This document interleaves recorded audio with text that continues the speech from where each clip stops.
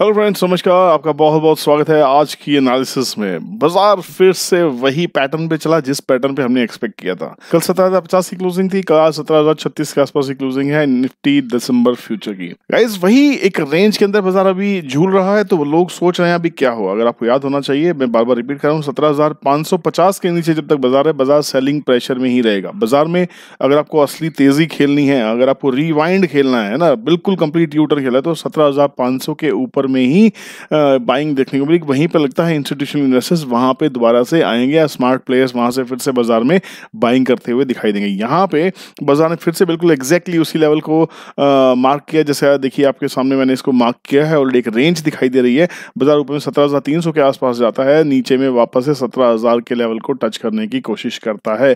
आज भी दिन भर यही रहा। तो यहाँ पे बेसिकली आपकी स्ट्रेटेजी फिर से क्या हो जाएगी? जैसे आज की क्लोजिंग है सेवनटीन थाउज़ेंड थर्टी सिक्स के आसपास की। बहुत ही छोटा सा स्टॉप लॉस है।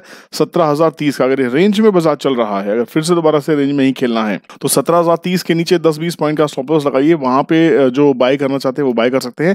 वो वापस से फिर से सौ डेढ़ सौ पॉइंट का एक अच्छा खासा बाउंस निफ्टी में देखने को मिल सकता है। बट जब सत्रह हज़ार वापस टूट जाएगा तो एक झटका फिर से आपको देखने को मिलेगा। फिर से पाँच सौ हज़ार पॉइंट के आसपास की करेक्शन निफ्टी में देखने को मिल सकती है। अभी बाज़ार सेलिंग प्रेशर में बना हुआ है। इसको देखने का एक और तरीका है। जैसे आप नॉर्मल कैंडल सिक्स को तो आप देखते ही हैं। मैंने आपसे हमेशा से लाइव सेशंस में भी कहा है। कि प्लीज़ हैकेनेशी कैंडल को एक बार लगा के देख लिया कीजिए ट्रेंड को रिकन्फर्म करने के लिए। गाइज़ माइंड में ट्रेंड को रिकन्फर्म करने के लिए हम हैकनिशी को यूज़ करते हैं। हम बिल्कुल भी हैकनिशी को ट्रेडिंग के लिए इस्तेमाल नहीं कर रहे हैं, क्योंकि वैल्यूएशन है, जो कैलकुलेशन है हैकनिशी की और नॉर्मल कैंडल्स की, बहुत ही ज़्यादा डिफरेंट है, जैसे अगर देखेंगे। तो हैकनिशी कैंडल की जो क्लोजिंग है, सत्रह की दिखा रहा है।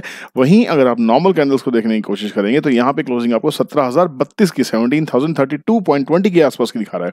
तो यहाँ हम करने की कोशिश करें तो हैकनिशी कैंडल को अगर ट्रेंड रिकन्फर्म करने के लिए यूज़ करें, तब भी हमें वापस से ट्रेंड का सेल सेलिंग ही कंटिन्यू दिखाई दे रहा है राइट ठीक है? तो अभी भी अगर हम इंट्राडे चार्ट के ऊपर देखें तो सेलिंग ही दिखाई दे रही है। अगर डेली चार्ट के ऊपर देखने की कोशिश करें तो हमको वहाँ पे भी अच्छी खासी सेलिंग ही दिखाई दे रही है। सेलिंग को होल्ड किया जा रहा है राइट ठीक है? वॉल्यूम्स को देखा जाए तो वॉल्यूम्स बहुत क्लियर कह रहे हैं कि बाज़ार सत्रह के अट्ठारह के आसपास से सिर्फ़ सेलिंग ही चल रही है। डेली चार्ट के ऊपर में यहाँ पे कोई रिवर्सल का पैटर्न अभी नहीं देखने को मिला है। ठीक है? तो आपकी जो सेलिंग है वो होल्ड है। तो दोस्तों, अगर आपको लगता है कि मेरे एफर्ट आपको पसंद आते हैं, ये कंटेंट आपको पसंद आता है, मेरी मेहनत आपको पसंद आती है तो प्लीज़ मोटिवेट करने के लिए लाइक को ज़रूर प्रेस कीजिए सब्सक्राइब करके रखिए चैनल को ताकि सभी अपडेट्स आपको टाइम पे मिलते रहें। और हाँ रेगुलर अपडेट्स पाने के लिए टेलीग्राम चैनल को ज्वाइन कर लीजिए, जिसका लिंक वीडियो के नीचे दिया हुआ है। और अगर आप चाहते हैं कि इंडिया के बेस्ट डिस्काउंट ब्रोकर के साथ अपना अकाउंट खोले जाए, जिसमें Zerodha Angel Broking Paytm money stocks card Upstox और भी बहुत सारे लिंक्स मैंने इस वीडियो के डिस्क्रिप्शन में दे दी है तो जहाँ आप चाहते हैं अपना फ्री डीमेट और ट्रेडिंग अकाउंट खोल सकते हैं। और आज ही अपने ट्रेडिंग और इन्वेस्टमेंट की शुरुआत को कर सकते हैं। तो यहाँ पे अगर आपको काम करना है तो बहुत ही क्लियर है छोटे छोटे स्टॉप लॉसेज होंगे, उनको लेना ही पड़ेगा, क्योंकि बाज़ार एक झटके से नीचे की तरफ़ आएगा, क्योंकि जो गैप है, वो गैप बहुत बड़ा है राइट तो यहाँ पे निफ्टी के लिए seventeen will act as a support now सत्रह हज़ार तीस, सत्रह हज़ार के लेवल को पकड़ लीजिए। वो फिर से एक स्ट्रॉन्ग सपोर्ट का काम करने वाला है। वहाँ से अगर फिर से बाउंस बैक देखने मिलेगा तो फिर से आपको सौ, डेढ़ सौ, दो सौ पॉइंट के आसपास का एक बाउंस देखने को मिल सकता है। You can play this bounce easily चलिए देखते हैं बैंक निफ्टी में क्या है। इस बैंक निफ्टी भी एक बहुत ही इंपॉर्टेंट एरिया को हिट करती दिखाई दे रही है। अगर आप थोड़ा सा इस एरिया को मार्क करने की कोशिश करें तो आपको समझ में आ जाना चाहिए कि ये एरिया टेस्ट हो रहा है। पैंतीस हज़ार छः सौ के आसपास बाज़ार खड़ा है। बहुत ही स्ट्रॉन्ग स्टॉप लॉस है। बैंक निफ्टी का पैंतीस हज़ार पाँच सौ का। पैंतीस हज़ार पाँच सौ के नीचे बैंक निफ्टी चलेगी तो आराम से वहाँ से हज़ार पॉइंट के आसपास की करेक्शन बहुत अच्छे से देखने मिल सकती है। बैंक निफ्टी तैंतीस हज़ार, साढ़े तैंतीस हज़ार तक भी आने वाले टाइम में निकल सकती है। पैंतीस हज़ार पाँच सौ को पूरे मंथ के लिए होल्ड करना होगा, अगर बैंक निफ्टी में रिवाइवल आपको देखना है। यहाँ पे भी अगर देखेंगे ट्रेंड रिकन्फर्म करने की कोशिश करें तो ट्रेंड सेलिंग का ही है। हैकेनिशी उसको होल्ड करने के लिए कह रहा है, ठीक है?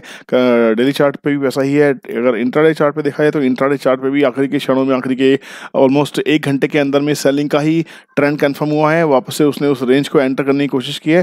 तो यहाँ पे बहुत ही इंपॉर्टेंट एरिया रहेगा, पैंतीस हज़ार पाँच सौ का। अगर पैंतीस हज़ार पाँच सौ का एरिया टूट जाता है, जो टूटने की संभावनाएँ दिखाई देती हैं, पैंतीस हज़ार पाँच सौ का एरिया तो आप समझ लीजिए कि this will be a very very sharp fall till thirty four thousand and till thirty three thousand two fifty level right तो आने वाले टाइम में अगर आपको बाइंग करनी भी है, आपको बाउंस प्ले करना है तो पैंतीस हज़ार पाँच सौ के स्टॉप लॉस के साथ में आप बाय करेंगे।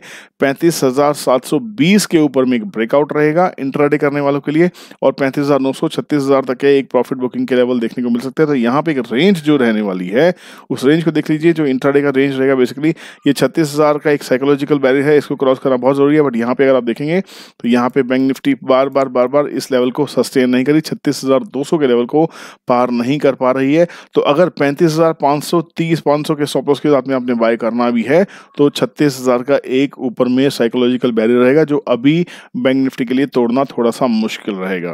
तो गाइज़ आई होप आपको ये एनालिसिस पसंद आ रहा है। अपनी स्टडी करने के बाद ही ट्रेड लीजिएगा, क्योंकि ये मेरी स्टडी है, मेरी एनालिसिस है, मेरी ऑब्जर्वेशन है जो आपसे शेयर कर रहा हूँ। इतना सारा प्यार देने के लिए बहुत बहुत शुक्रिया। और yes guys I would request you to follow me on Instagram also Instagram का मेरा हैंडल इस वीडियो के डिस्क्रिप्शन में दे दिया गया है, जहाँ पे मैं आपको डेली अपडेट्स दूँगा इंस्टाग्राम के रील्स वीडियोस के थ्रू में और यूट्यूब शॉर्ट्स वीडियोस के थ्रू में आपको मिनट हो सकता है हर थोड़ी देर में एक अपडेट आपके पास आ जाए, हर थोड़ी देर में एक अपडेट आ जाए। तो आपके साथ जितना लाइव हो सकता है, मैं रहने की करूँगा, क्योंकि ज़रूरी नहीं है कि आपको एक लंबी वीडियो को बना के ही दिया जाए, पूरे दिन की बीस मिनट की वीडियो शूट की जाए। वो तो वीडियो आपके सामने आएगी ही आएगी शाम के टाइम में बट छोटी छोटी वीडियोज़ के माध्यम से, आपको हिंट्स के माध्यम से, आपको अलर्ट्स के माध्यम से मैं आपके लिए वो कंटेंट क्रिएट करता रहूँगा। तो प्लीज़ चैनल पर बने रहिए। दोस्तों को चैनल पर लेकर आइए, पसंद करते हैं चैनल को तो प्लीज़ कमेंट कीजिए लाइक कीजिए शेयर कीजिए, ताकि चैनल के साथ साथ हम और आप दोनों ग्रो कर सकें। Thank you so much for motivating me thank you so much for watching this video take care bye Jai Hind